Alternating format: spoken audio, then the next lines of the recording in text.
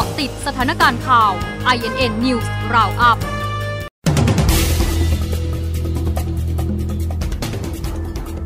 12นาฬิกา2นาทีโฆษกรัฐบาลเผยนายกรัฐมนตรีกำชับกระทรวงพาณิชย์และตำรวจตรวจสต็อกปาล์มน้ำมันสั่งห้ามกักตุนบังคับใช้กฎหมายอย่างเคร่งครัด พร้อมให้กระทรวงเกษตรเฝ้าระวังควบคุมโรค ASF อย่างเข้มงวด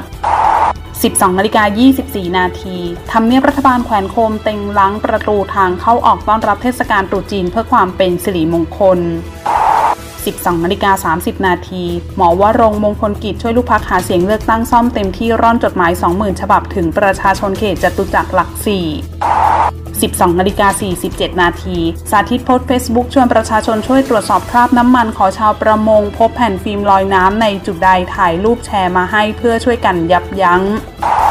ล่าสุด 12นาฬิกา53 นาที กองพิสูจน์หลักฐานเร่งตรวจสอบความเร็วรถสิบตำรวจตรีซิ่งบิ๊กไบค์ชนหมอกระต่ายเสียชีวิตบนทางม้าลายก่อนส่งพนักงานสอบสวนพิจารณาแจ้งข้อหาเพิ่ม